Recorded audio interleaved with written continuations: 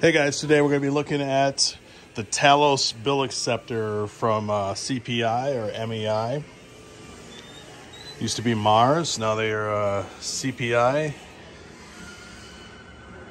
It's the MEI Talos. It's the uh, successor to the um, the 2000 series, which we have right here. We'll do a little bit of a comparison here. Um, as you can see, this is the old 2000 series, and you'll notice, you know, we got dip switches, pretty much the same design here. And then on the new Talos, there's no dip switches.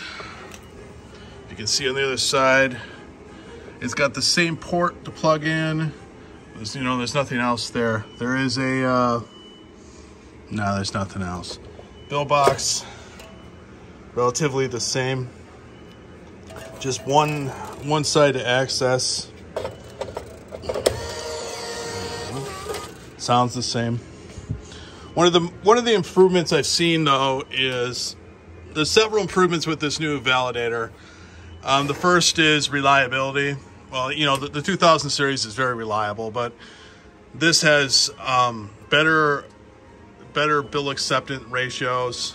Um, it also has this thing accepts bills and continues the whole cycle twice as fast as this. So if you have a lot of customers feeding in singles and stuff, this is definitely the uh, validator for you. It is it is a bit pricey. We're also going to compare it to this um, this uh, ICT TAO, which is not a bad acceptor as well. Um, this has a different kind of bill box where the stacker is actually inside the bill box. Um, that one accepts pretty good. It's not as good as this one, um, but it is a bit faster than the old 2000s. So the, the big differences are obviously the speed and reliability is improved. Um, but you have no dip switches, so you have to do all the settings with the coupon. There is um, a Bluetooth way to do it with a cell phone. I have yet to get that app. I'm trying to contact a Crane. Um, another improvement is there's this portion here just comes right out.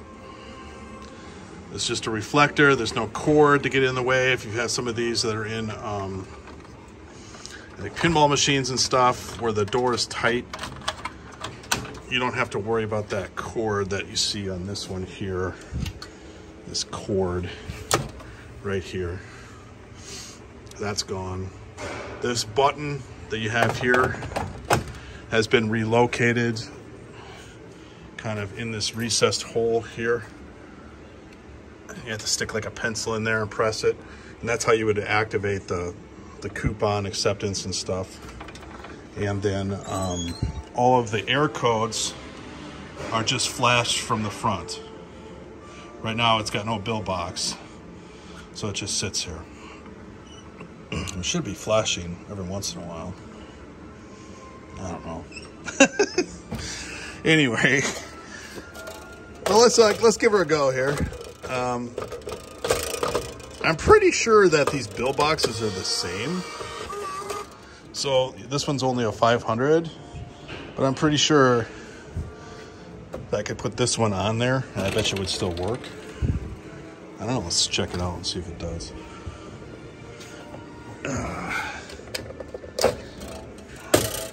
I don't see how these are that different. Maybe they are. Yeah,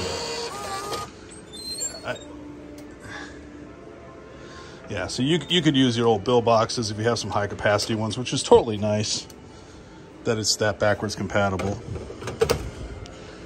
Um, but we're going to leave this one on for now. We'll just give you a little demonstration here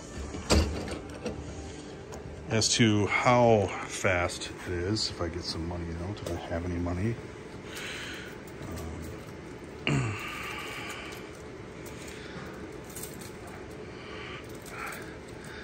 Excuse me while I find some money. Poor man.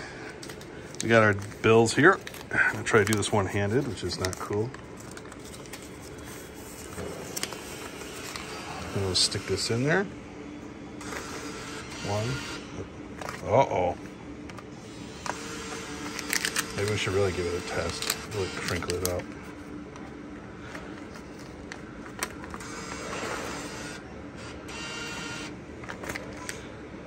Not a good test, man.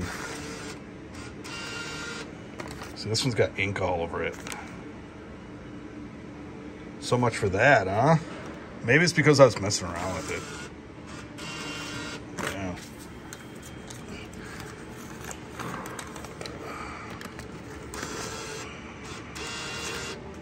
That's bizarre. I wonder if I don't cut it back together right. I've never seen it do this.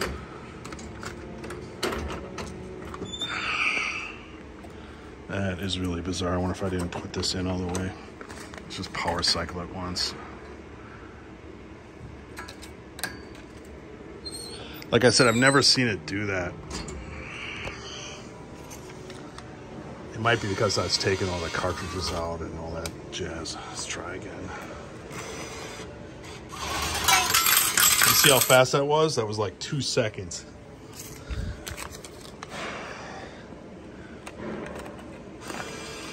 One, two. Two seconds. Not even. Now, if we were to compare that to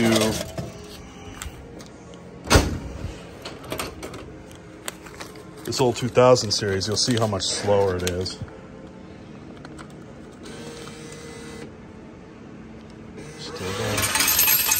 See the extra delay. One, two, not much, but it is faster.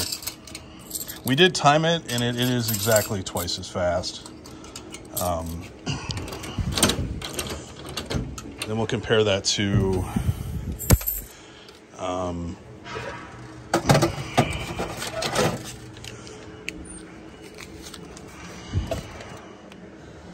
this uh, TAO here.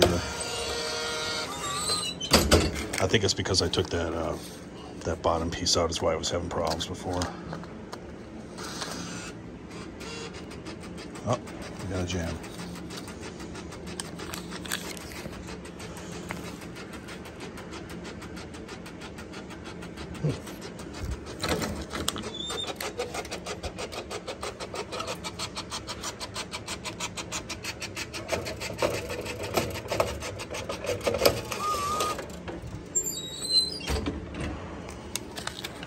Let's try again. So now we're back to this again.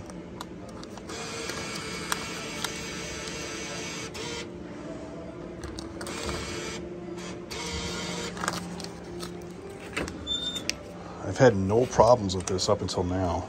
It's so bizarre.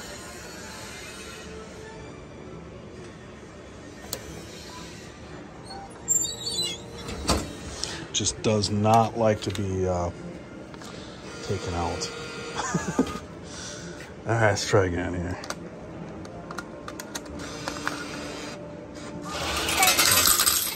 For whatever reason, it just doesn't.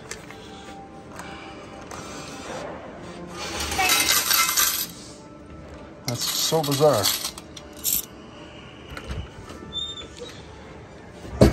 Your guess is as good as mine. It just does not like me taking this bill box off and on. I had no problems with it so far. It has accepted better than this TAO that's in here. Let's see if this will.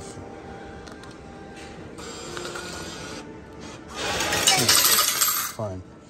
And we'll do this one and see how fast this is.